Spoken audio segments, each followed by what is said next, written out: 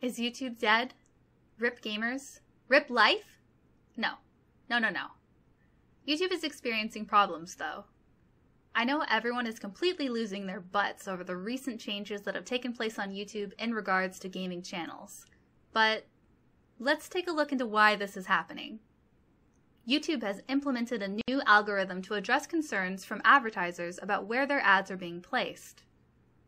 Now, nothing is perfect. You can't know how the algorithm is going to react until it's implemented.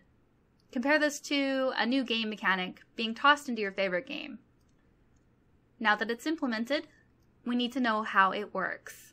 With 400 hours of video uploads every single minute, the newly implemented algorithm has to catch things outside of YouTube's terms and conditions. Terms and conditions may apply. So gaming content is being targeted, right? Wrong. It's all content that may be considered offensive to advertisers. But YouTube's help forum states that if you get the yellow icon on your video dashboard and feel our automated system got it wrong, please appeal. YouTube is relying on a program to evaluate content across the platform. It needs you to show the algorithm what is okay. Once a video is cleared, it knows that that style of content is good to go. So in short, uploading controversial content to this algorithm creates an auto safety pull of that video, not knowing that the context of that content causes it to be flagged.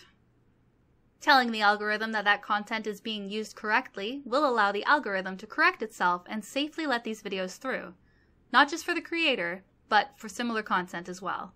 I'd like to end with this. Ryan Wyatt, head of gaming, content, and partnership, says The gaming community has been a central part of YouTube's success from the very beginning.